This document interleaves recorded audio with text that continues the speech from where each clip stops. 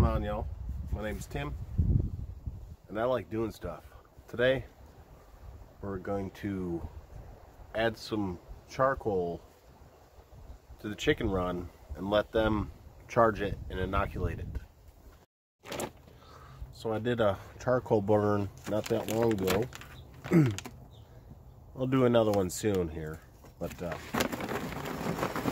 a charcoal burn, just a bunch of loose wood and stuff. And I just, I store it in the old uh, chicken feed bags.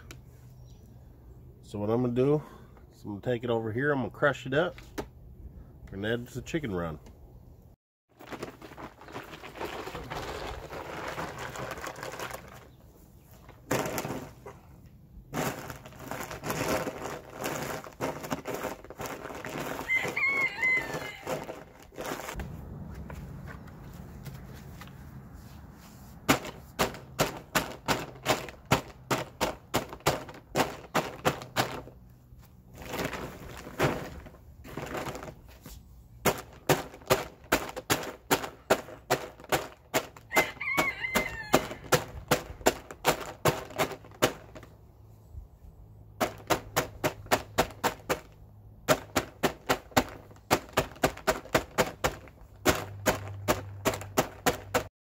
Now, uh, adding it to the chicken composting system does a few different things. Uh, one, it's going to charge that uh, charcoal and incorporate it into the compost, which is going to make it so it doesn't uh, rob the nitrogen from the soil when you add it to your uh, garden. Second thing it's going to do, it's going to keep down on smell. All the carbon will soak up all those chicken smells.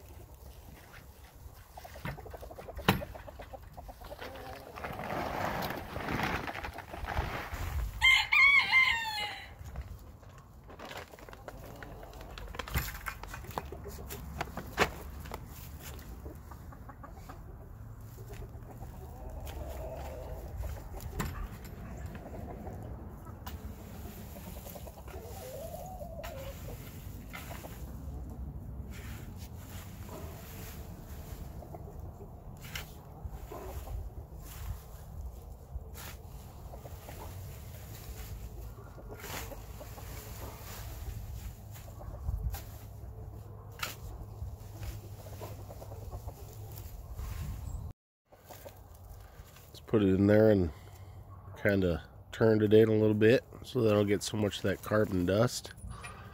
Uh, they'll pick at it a little bit and it won't it won't hurt them none. But uh, that'll make that some good compost here in a couple weeks.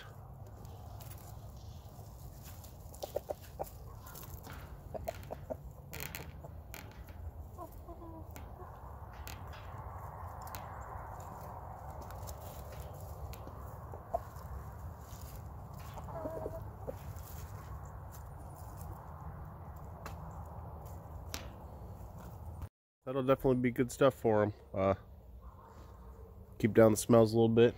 It'll inoculate it. Uh, about to do another biochar burn here. Just crazy hair. Sorry. But we'll probably do another uh, biochar burn here in the next few weeks. And uh, we'll show you how, how we do that. The whole process. So I hope you all stick around. See y'all in the next one. Cheers.